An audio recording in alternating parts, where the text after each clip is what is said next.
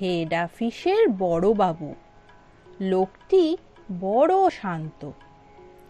তার যে এমন মাথার ব্যামো কেউ কখনো জানতো? দিব্যি ছিলেন খোশ মেজাজে চেয়ার খানি চেপে। একলা বসে ঝিমঝিমিয়ে হঠাৎ গেলেন খেপে আতকে উঠে হাত পা ছুঁড়ে চোখটি করে গোল হঠাৎ বলেন, গেলুম গেলুম, আমায় ধরে তোল। তাই শুনে কেউ বদ্যি ডাকে, কেউ বা হাঁকে পুলিশ। কেউ বা বলে, কামড়ে দেবে সাবধানেতে তুলিস।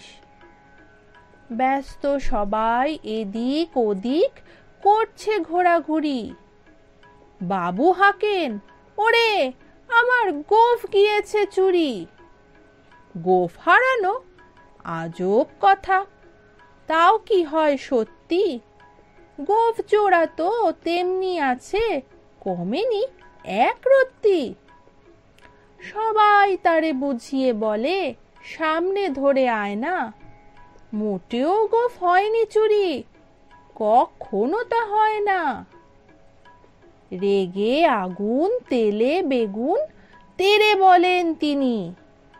কারও কথা ধার ধারি নে, সব ব্যাটাকেই চিনি। নোংরা ছাটা, খ্যাংরা ঝাঁটা, বিচ্ছিরি আর ময়লা, এমন গোফ তো রাখতো জানি শ্যামবাবুদের গয়লা।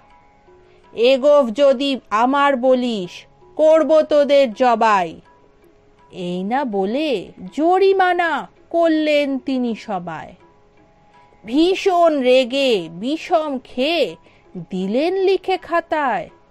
কাউকে বেশি লাই দিতে নেই, সবাই চড়ে মাথায়। আফিসের এই বাদরগুলো মাথায় খালি গোবর। গোফ চোরা যে কোথায় গেল, কেউ রাখে না খবর। ইচ্ছে করে এই ব্যাটাদের গোফ ধরে খুব নাচি।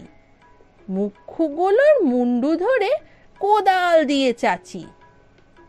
গোফকে বলে, তোমার আমার গোফ কি কারও কেনা? গোফের আমি, গোফের তুমি, তাই দিয়ে যায় চেনা।